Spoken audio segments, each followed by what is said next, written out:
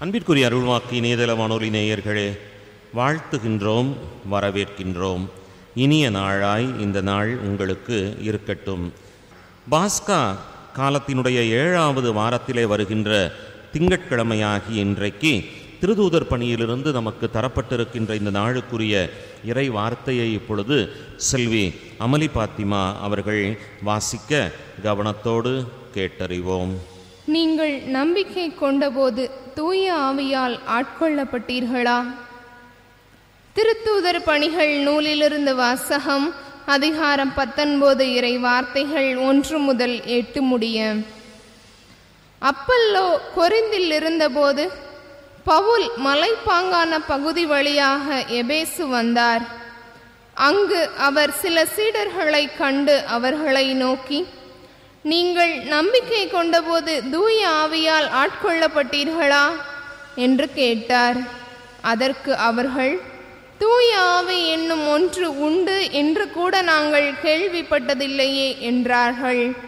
அவ்வாறெனில் நீங்கள் எந்த திருமுழுக்கை பெற்றீர்கள்? என பவுல் கேட்க அவர்கள் நாங்கள் யோவான் கொடுத்த திருமுழுக்கை பெற்றோம் என்றார்கள்.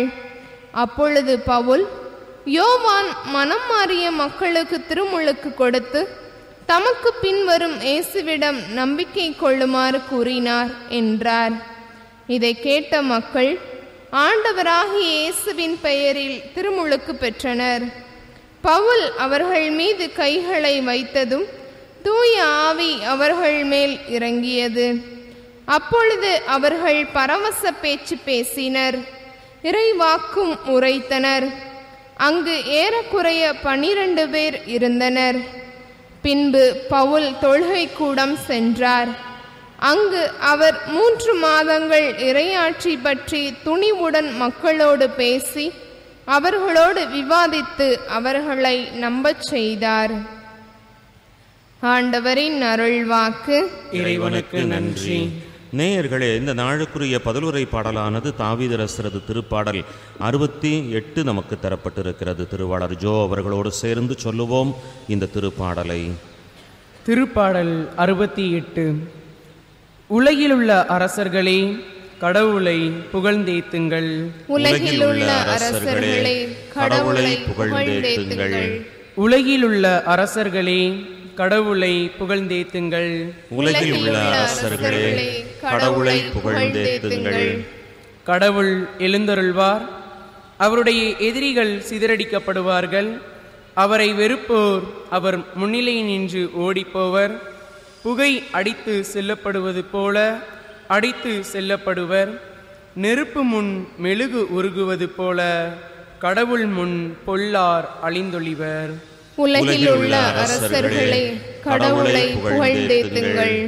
நேர்மையாளரோ மகிழ்ச்சி அடைவர் கடவுள் முன்னிலையில் ஆர்ப்பரிப்பர் மகிழ்ந்து கொண்டாடுவர். கடவுளை புகழ்ந்து பாடி அவரது பெயரை போற்றுங்கள். ஆண்டவர் என்பது அவர் தம் பெயராம். உலகிலுள்ள அரசர்களே கடவுளை புகழ்ந்தேத்துங்கள். திக்கற்ற பிள்ளைகளுக்கு தந்தையாகவும் கணவனை இழந்தாளின் காப்பாளராகவும் இருப்பவர் தூயகத்தில் உறையும் கடவுள். தனித்திருப்போர்க்கு கடவுள் உறைவிடம் அமைத்து தருகின்றார். சிறைப்பற்றோரை விடுதலை வாழ்வுக்கு அழைத்துச் செல்கின்றார். உலகிலுள்ள அரசர்களே கடவுளை புகழ்ந்தேத்துங்கள். உலகிலுள்ள அரசர்களே கடவுளை புகழ்ந்தேத்துங்கள். அல்லே லூயா அல்லே லூயா நீங்கள் கிறிஸ்துவோடு உயிர் பெற்று எழுந்தவர்களானால் மேலுலகு சார்ந்தவற்றை நாடுங்கள். அங்கு கிறிஸ்து கடவுளின் வலப்பக்கத்தில் அமர்ந்திருக்கிறார். அல்லே லூயா அல்லேலூயா. நேயர்களே இந்த நாளுக்குரிய இறைவார்த்தையானது யோவானினுடைய நற்செய்தி நூலிலிருந்து நமக்கு தரப்பட்டிருக்கிறது. மறைத்திரு ஆரோக்கியசாமி அடிகளார் இந்த நற்செய்தியை வாசிக்க கேட்டு ஆசீர் பெறுவோம் யோவான் எழுதிய நற்செய்தியில் இருந்து வாசகம் அதிகாரம் பதினாறு இருபத்தொம்போது முதல் முப்பத்தி மூன்று முடிய உள்ள இறைவாக்கியங்கள். அக்காலத்தில் சீடர்கள் இயேசுவிடம் இப்போதுதான் உருவகம் எதுவுமின்றி வெளிப்படையாக பேசுகிறீர்? உமக்கு அனைத்தும் தெரியும். யாரும் உம்மிடம் கேள்வி கேட்க தேவையில்லை என்பது எங்களுக்கு இப்போது புரிகிறது. இதிலிருந்து நீர் கடவுளிடமிருந்து வந்தவர் என்பதை நம்புகிறோம் என்றார்கள். இயேசு அவர்களை பார்த்து இப்போது நம்புகிறீர்களா? இதோ காலம் வருகிறது. ஏன் வந்தே விட்டது? அப்போது நீங்கள் சிதறடிக்கப்பட்டு ஒவ்வொருவரும் அவரவர் வீட்டுக்கு ஓடிப் போவீர்கள் என்னை தனியே விட்டு விட்டுவிடுவீர்கள். விட்டு ஆயினும் நான் தனியாய் இருப்பதில்லை. தந்தை என்னோடு இருக்கிறார். என் வழியாய் நீங்கள் அமைதி காணும் பொருட்டே நான் இவற்றை உங்களிடம் சொன்னேன். உலகில் உங்களுக்கு துன்பம் உண்டு. எனினும் துணிவுடன் இருங்கள். நான் உலகின் மீது வெற்றி கொண்டு விட்டேன் என்றார். கிறிஸ்து வழங்கும் நற்செய்தி. கிறிஸ்துவே புகழ். நேயர்களே நீங்கள் என்னை தனியே விட்டுவிடுவீர்கள். நான் தனியாய் இருப்பதில்லை தனித்திரு பசித்திரு விழித்திரு ஜெபித்திரு. மூத்த நல்ல ஆன்மீக அருட்பொழிவு பெற்றவர்கள் சொல்லுகின்ற ஆழமான ஒரு செய்தி. பசித்திரு தனித்திரு விழித்திரு ஜெபித்திரு. தனித்திருத்தல் என்பது ஒரு நல்ல அற்புதமான காரியம். இந்த தனித்து இருப்பது என்பது அவசியமானதும் கூட. தனித்திருப்பதனால் உறவில்லாமல் இருப்பது அல்ல உறவோடு இருப்பது. தனிமைப்படுத்துவது என்பது வேறு தனித்து இருப்பது என்பது வேறு. தனிமைப்படுத்துகின்ற பொழுது உறவுகளையும் துண்டாடி பிரித்து நிற்பதுதான் தனிமைப்படுத்தி கொள்வது ஆனால் தனித்திருப்பது என்பது எவ்வளவுதான் நாம் பெரிய பெரிய மாந்தர்களாக இருந்தாலும் ஒவ்வொரு நாளும் சில மணி துளிகளாவது நான் எனக்கென எடுத்துக்கொண்டு நான் தனித்திருந்து நான் பசித்திருந்து நான் என்னிலே விழித்திருந்து ஜெபித்திருப்பது என்பது என்னுடைய உடலுக்கு உள்ளத்திற்கு ஆன்மாவிற்கு உரம் சேர்ப்பதாய் அமைந்திருக்கிறது என்பதுதான் உண்மை. ஆண்டவர் மிக தெளிவாக கூறுகின்றார் என்னை தனியே விட்டுவிட்டு நீங்கள் அத்தனை பேருமே ஓடிப்போவீர்கள் ஆனால் நான் தனித்திருப்பது இல்லை. நான் தனியாய் விடப்படுவது இல்லை தந்தை என்னோடு இருக்கின்றார். அந்த தந்தை அனுப்பிய ஆவியானவரும் என்னோடு இருக்கின்றார்.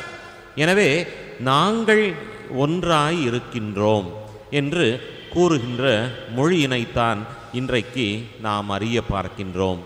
வாழ்விலே நாம் ஒவ்வொருவருமே இப்படியாய் அறிந்து கொள்வது அவசியமானது. எவ்வளவுதான் நட்புகள் இருந்தாலும் எவ்வளவுதான் சொந்தங்கள் இருந்தாலும் எவ்வளவுதான் உறவுகள் இருந்தாலும் அவர்கள் நம்மை தனியே விட்டுவிட்டு ஓடிப் போவார்கள். நாம் நோயினுடைய படுக்கையிலே விழுகின்ற பொழுது பொருளாதாரத்திலே நாம் நலிவு பெறுகின்ற பொழுது அல்லது சமூகத்திலே நாம் பல நேரங்களிலே அவமானப்பட்ட படுத்தப்படுகின்ற பொழுது நாம் தனியே விடப்படுவோம் என்பதுதான் உண்மை. அப்படி நாம் தனியே விடப்படுகின்ற பொழுது நான் தனிமைப்படுத்தப்பட்டிருக்கின்றேனா? அல்லது நான் தனித்திருக்கின்றேனா? இதைத்தான் நாம் கேட்டு பார்க்க அழைக்கப்படுகின்றோம். நான் தனித்து இருந்து என் தன் தன்மையை நான் வெளிப்படுத்த அழைக்கப்படுகின்றேன். அப்படியாய் நாம் வெளிப்படுத்துகின்ற பொழுது நான் என்னோடு நான் இணைந்திருக்கின்றேன். என்னை படைத்த கடவுளோடு நான் இணைந்திருக்கின்றேன். என்னை உறுதிப்படுத்துகின்ற அந்த ஆவியினுடைய ஆற்றலினால் நான் துணிவோடு நிற்கின்றேன் என்று சொல்ல முடியும். கடவுள் என்னோடு இருக்கின்றார். நானும் கடவுளோடு இருக்கின்றேன். கெஸ்தமணி தோட்டத்திலே சீடர்கள் அத்தனை பேரும் உறங்கிய போதிலும் கூட அவர் தனியே விடப்படுகின்றார். ஆனால் அவர் தனியாக இல்லை. தந்தையோடு அவர் ஜெபித்திருந்த காரணத்தினால் வியர்வையெல்லாம் இரத்தத் துளிகளாய் வெளியேறிய போதிலும் கூட தந்தையே இந்த துன்பக் கிண்ணம் என்னை விட்டு அகலக்கூடுமானால் அகலட்டும் ஆனாலும் என்னுடைய விருப்பம் அல்ல உமது விருப்பம் என்னிலே நிறைவு பெறட்டும் என்று சொல்லி உறவோடு ஒன்றித்த நிலையிலே அவர் இருந்த காரணத்தினால் துணிவோடு உறுதியோடு அவர் அந்த சிலுவையை ஏற்றுக்கொள்ள தன்னை ஒப்பு கொடுத்தார் என்பதை நாம் அறிய பார்க்கின்றோம். நாமும் நம்முடைய வாழ்விலே தனிமைப்படுத்துவதை விடுத்துவிட்டு ஒவ்வொரு நாளும் தனியாய் இருந்து ஆண்டவரோடு உறவு கொண்ட நிலையிலே நாம் ஜெபித்து வாழுகின்ற நல்ல மக்களாய் வாழ்ந்திட வரம் கேட்டு இந்த நாளை ஒப்பு கொடுத்து நாம் ஜெபிப்போம். தொடர்ந்து எம்மோடு இணைந்திருங்கள். இறை வார்த்தையை கேளுங்கள். அதன் பலனை சுதந்திரித்துக் கொள்ளுங்கள். ஆமென்.